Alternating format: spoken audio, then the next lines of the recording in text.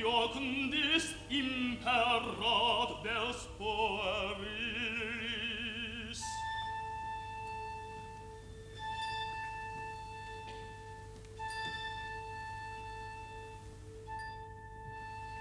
Rerum pantalomitas in solemni vele, et vereas tutoritas hirvet nos gaudere, veas breves solitas et in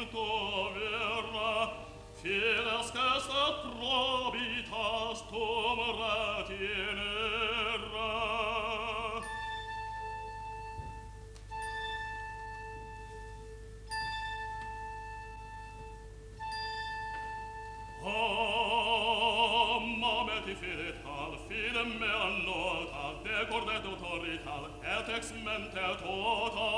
sum presenti politar absens in remota,